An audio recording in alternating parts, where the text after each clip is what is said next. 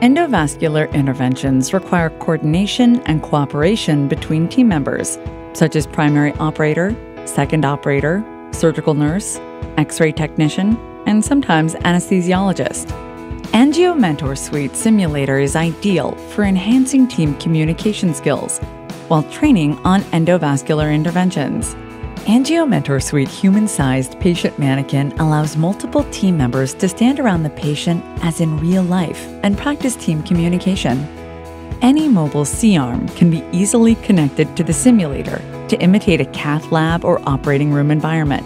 C arm rotation is reflected on the fluoroscopy monitor, and communication with the X ray technician is practiced.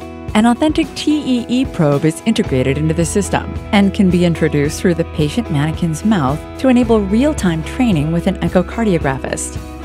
This is an example of transeptal puncture team training, where the primary operator needs to work with the X ray technician and the echocardiographist to get the appropriate views to perform a safe puncture. Those features make the Angio Mentor Suite ideal for enhancing team communication skills while training on endovascular interventions.